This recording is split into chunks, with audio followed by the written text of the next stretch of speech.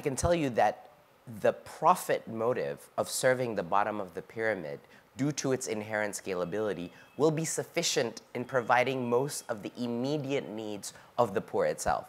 Now, this is a very contentious point. A lot of people disagree with me on this, that, that there, there no, but it requires a huge amount of government uh, uh, intervention. And yes, all of that to build human capacity, education and health cannot. This cannot be solved privately.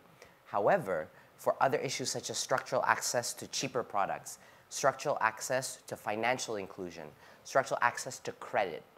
Without credit, there is no ability to then take risk to move up to your next level of economic development. As we all know, you, ne you need some access to credit. So in my mind, what, is, what will private sector companies uh, try to acquire or sell to the bottom of the pyramid? It's what they need most. What they need most is actually access to information and access to financial services.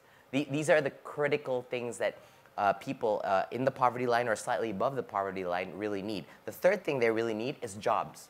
Not just because of unemployment issue, but because of underemployment issues. These three things with the gig economy is one of the most powerful ways of driving employment, financial services, and information is a smartphone, actually. All three in one. So I think we are severely undervaluing, and also governments, I think, are undervaluing the benefit of spreading smartphones. I, you know, some people go all the way and extend it to a very high concept of digital literacy, all this stuff.